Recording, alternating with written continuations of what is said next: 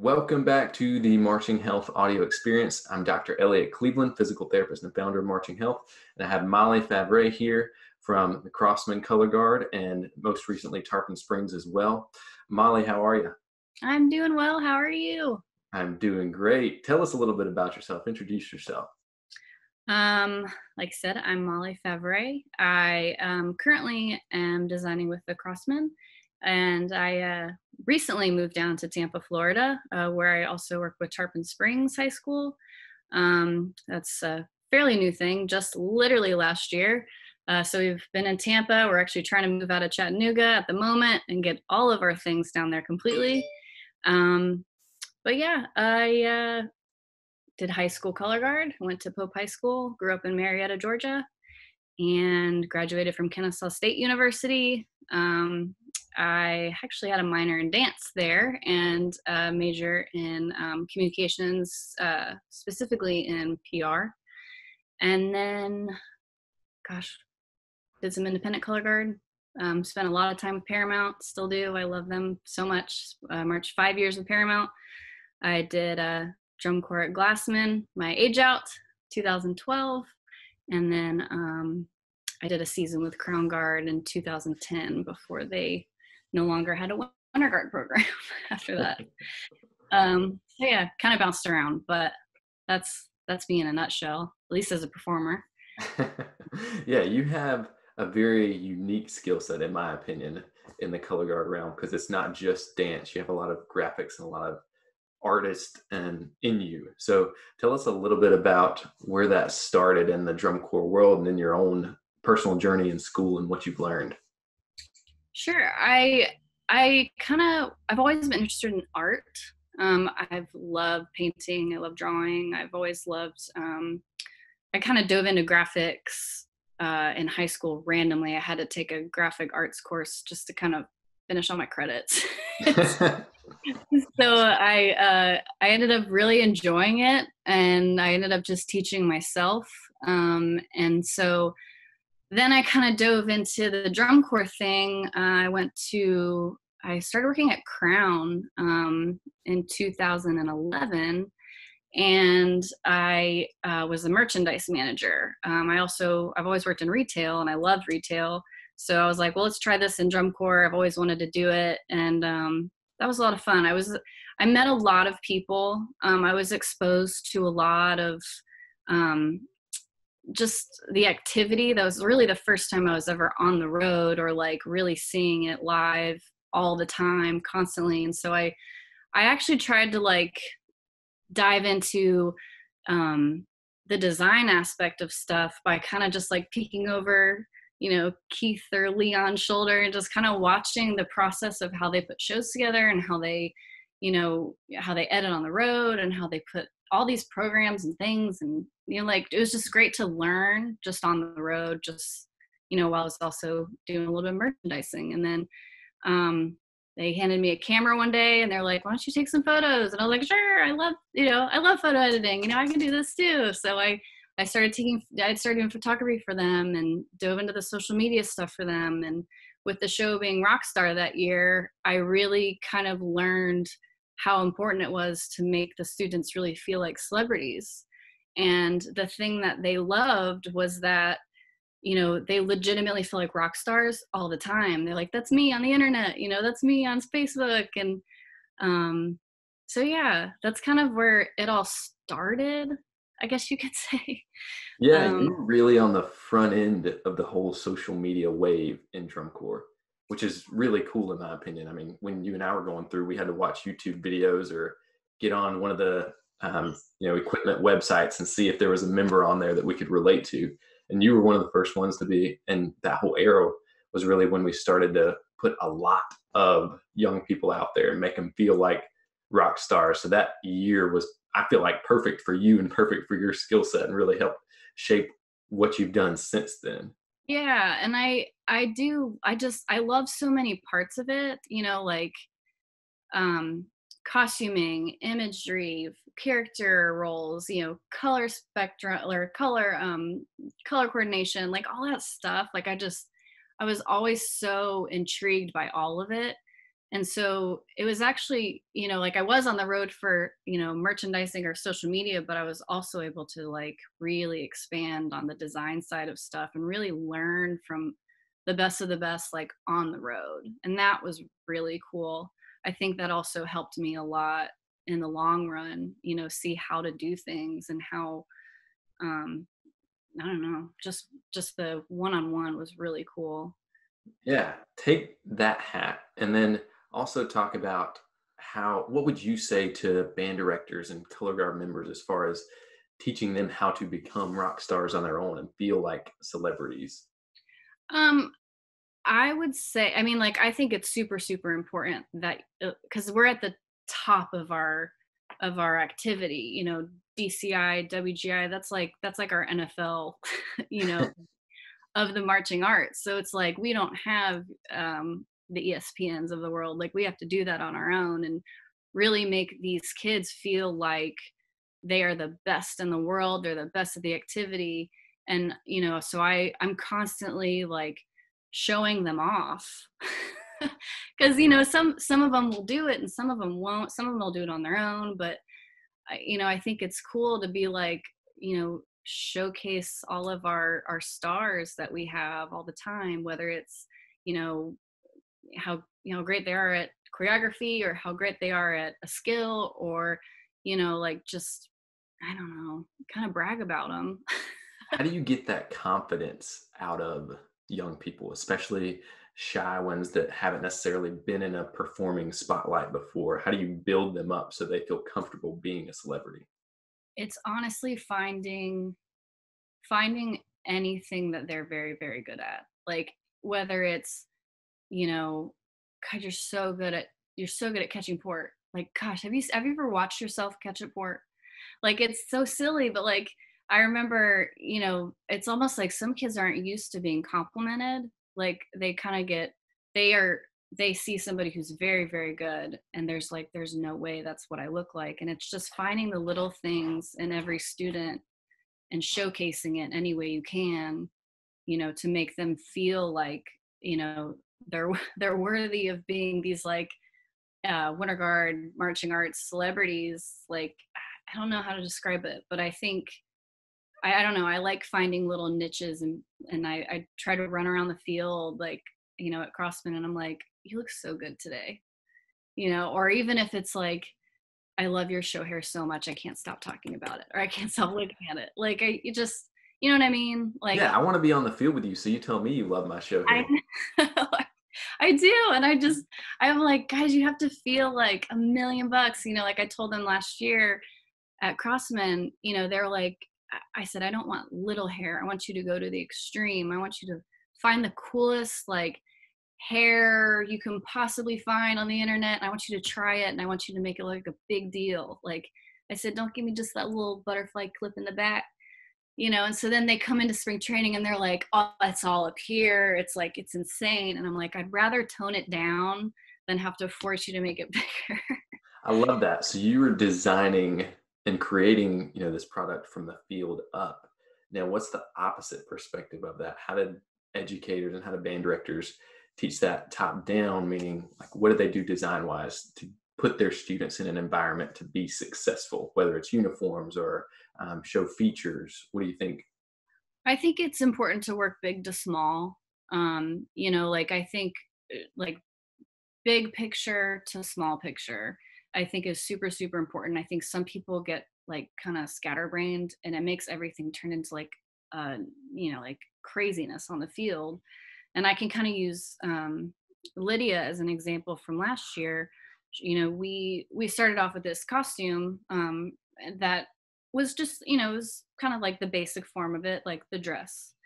And you know once we finally put it on her you know we put her on the field we're like now what does she need? She needs a headpiece. She needs all these accessories this cape. She needs a horn. She needs she needs a corset. She needs you know tall boots not small little jazz shoes. Like she needs like you know what i'm saying? You we went this way with it to really narrow down the detail of her and her look and um, i think that's really important i think sometimes i think some band directors some instructors some designers you know if that works for you that's fine but my suggestion is to work big to small.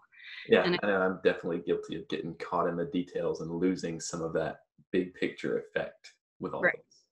Right. I think I think that could help a few people. so tell me about your own performing and health journey and what you've learned along the way from going from being a you know really heavy participant in WGI to trying to do drum corps and now what you teach your students. Um, I uh, personally, I was always an indoor person. I always really loved um, winter guard. You know, I did do marching band. Obviously, I did color guard and marching band, but um, I've always had kind of an issue like body wise you know like i kind of i've always been really insecure about how how small i was in high school and so that unfortunately kind of set me back from doing drum corps um, and the irony now is you know there's always you know these people who are you know trying to make sure that they're in fit and they're in shape and they're you know they're like oh i, I see that uniform. I know it's going to be i i can't i won't look good in it. There's no way. And my theory is i i want you to feel strong not small because i had that personal issue of wishing i could have could have done more time because i just couldn't physically handle it and um you know i i i told i told my kids last year it's like i i just want you to i want you to be powerful and ready for a really hard summer and that does not mean you're going to lose weight. I want you to get muscular i want you to be you know strong and you know all these things because they got really fearful of the costume at one point and i said you can't do that.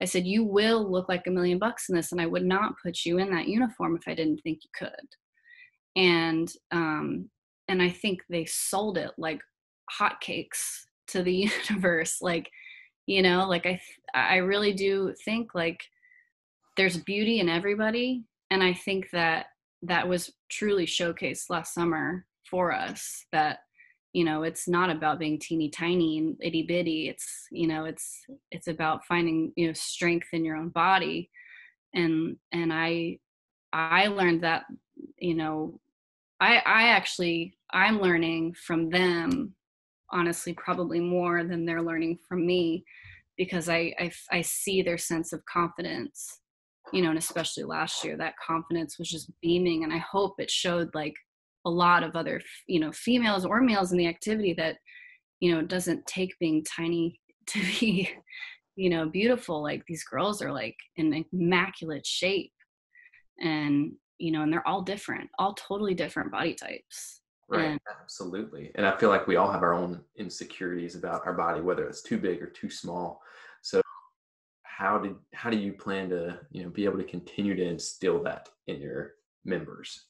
Uh, I, I, I always say like, you know, they, if, if anybody comes to me and says, I'm just afraid to put my student in that because I'm afraid that they won't feel good about it, then, then I say, you need to help them feel good about it. And I, I, it goes back to the celebrity thing. You just gush on them. Like I, I tell them all the time, like, you are the most beautiful people I've ever met. You're the most beautiful color guard. You're the most beautiful, like, blah, blah, blah, blah, blah, blah and it's it's all true like it's and i'm not just doing it to blow smoke up their butts like i'm really saying like you need to know how you know amazing you all look all the time and it's you know i'm giving you some like sparkles here and there but i'm not doing a whole lot it's it's just naturally you and so you know if if they're ever fearful of their guard members being in a certain costume they need to just figuring out a way to make them feel like you know no matter what they look fantastic in what they're wearing. You tell them that. You know they may not do it on their own so you have to guide them. You know you're a role you're not just their instructor you're also a role model for them in life you know it's more than just color guard we talk about that all the time.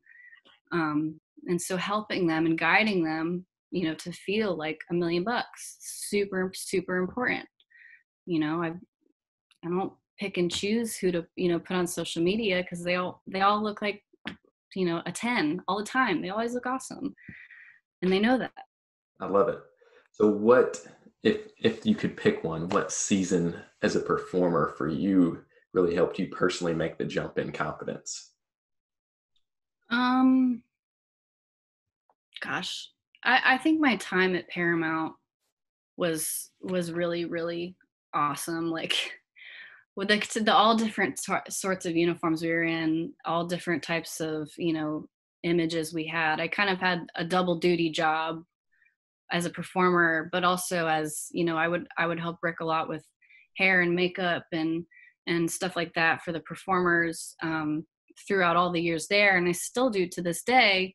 And so, like, our biggest thing is always like make them, you know, what will they look the best in? What's a hundred percent the best way to make them look and feel and not worry about it and not getting in their way. And so, you know, when when I started to like not just look at myself, but also have to look at the other performers and help them, you know, look and feel a certain way. I don't know. It's something about that helped me because mm-hmm. I was helping other people. And so I don't know. It was just my time at Paramount. I just felt my confidence like with Rick and Andrea, like they just really they really make you feel like a superstar all the time.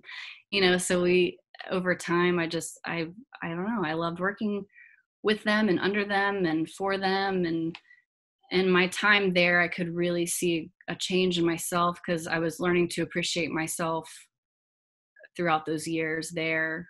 I don't know does that kind of make sense? Yeah absolutely. It's a lot of blah blah blah to me but no it's a it's a personal growth over a journey and that's you know really where you see it in your students. When you get a ninth grader it's that journey from them all the way to 12th grade. Right. at the end of the tunnel they realize i was somewhere along the way molly taught me this skill and just repeated it and repeated it and repeated it. And now i feel strong. I feel great about myself as a person. Yeah and they and and rick always does. He always made us like you're you guys are 10 you look amazing. You look this that and the other. And like you just feel powerful as a whole group and then you start you stop worrying about yourself. You stop looking at yourself so much and you start looking more at like the whole picture. And i'm i don't know. I just in that time my time there i really started to find more confidence in myself because i felt like i was in a really confident room with a huge confident family of people that cared and loved for me you know cared cared for me and loved me you know no matter how i looked and you know like i don't know. So if you're a color guard instructor especially you know a new color guard instructor and you've never told your kids they look like a 10 do it before their next show and they will totally transform yeah and it's so important to to not i don't, I don't mean to like beat you know beat them down on it but like it's so important for your students to know how important it is to look on the floor and off the floor. And you know not just taking for granted that you know oh our show's done it doesn't matter what i look like after this. Like no you got to put your jacket back on fix your hair up because somebody is walking around that that gym or that arena or that football field and they're looking at you whether it's like a middle schooler looking up to a high schooler or a or an independent performer looking at you know the high schoolers that are around them i don't it could be any any way but you know somebody's always looking up to you or looking at you or judging you or judged constantly you know? absolutely i mean i was a snare drummer so our thing was you set whenever you take a break it doesn't matter if you're a rehearsal or if you are you know out performing to the middle schoolers you put your drums down exactly the same because you want to look professional even when you are on break look professional and act professional so that's the exact same concept just for the color guard world. And we really like it sounds silly, but we really pushed that at Paramount. Like we had like the Paramount way of how we fold our jackets, you know, logo sides always up. If it's not on you, it's perfectly placed next to you. And, you know, because it's, it, you create that mentality of not perfection, but just, you know, being professional. And, you know, then you can, then you can push yourself onto the floor and say what's a professional way to recover if something happens you know as opposed to you know what i mean an immature way to handle that and when you're when you're constantly handling things in a professional way it uh, kind of gets stuck in your brain. I love it. You just went top to bottom from big picture think like a celebrity think make your kids feel like celebrities. What's the little thing they need to do every day? Fold their jackets the same. Take pride in how they look. And then mm-hmm. it's so much easier as an instructor when you do go try to teach them how to look like a rock star. Mm-hmm. They already have done the little things to set themselves up for that cue that you gave them. Yeah, when you care when you care about yourself off the floor, you'll you'll really care about yourself on the floor, and and it shouldn't you know like you know this past season with with Tarpon, you know they would laugh at me because I would constantly be running around with hairspray or lipstick or like you know I'm pointing to a mom because I'm like I need you know this this button's falling off like something and where it's just like it's such small details but i'm like you know let me worry about that so that you can worry about your show but you should totally understand that everything is important and everything has to be world class and you know it can't just be the twirls. It's got to be you know the setup the character image the you know the performer's hair. It's all got to be a 10 it's always at all times. And and like this past winter you know like i mean it's it feels like a lot of babysitting but i mean it's a lot of like just you know let me help you let me help you let me help you because i just i love i love making them feel like million bucks and they they should and i think they learned a lot from from me for that that you know on that topic i think this past winter because i was harping on it so much and you know, they're like we've just never had to worry as much about it as you know now you're here and now you're bugging me about my hair all the time. And i said let that be my job. Let me bug you about that. You know you know let's let's let janine and tyler clean all the twirls and tell you tell you you're late to count six. And i'm just going to make sure you look like a thousand bucks all the time. And they're like okay. Now go buy the right lipstick. And like okay. I love it. That's awesome advice. I mean that's it's thorough it makes sense it makes the young people be able to latch onto it. So thank you so much for all of those tips. Um, now i want to go just double check that i make i look like a 10 today so. Thank you so much for your time molly. Um, i really appreciate you sitting down with me and getting to know you a little bit more. Yeah no happy to be here. Thanks for having me. Absolutely